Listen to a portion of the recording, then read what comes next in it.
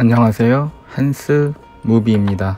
이번에는 조미료통을 담을 수 있는 함을 만들 겁니다.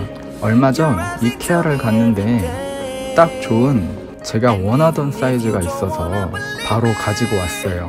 가격은 7,900원에 엄청 저렴하더라고요. 먼저 포장 먼저 맨손으로 뜯어주고 겉 포장을 뜯으면 만드는 설명서가 나오는데 저는 이딴 거 필요 없어요.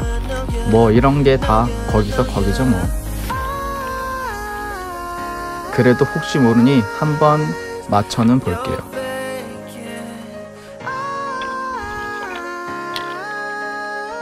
야외에 나와서 만드는 거여서 샤오미 미니 전동 드라이버를 챙겨왔습니다.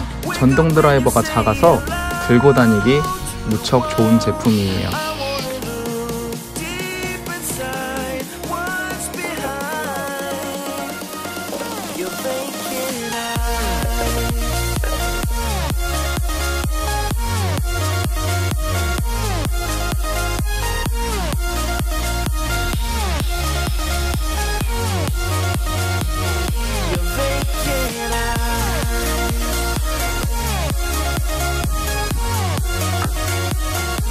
이거 봐요 쉽죠? 그럼 조미료통 한번 담아 볼게요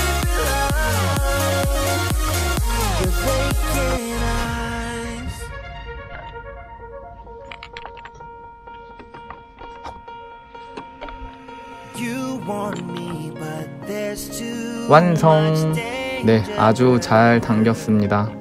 바로 사용해 봤는데 음, 엄청 편하더라고요. 조미료통을 뺐다 넣었다 하기도 편하고 한 곳에 담을 수 있어서 그게 너무 좋은 것 같아요.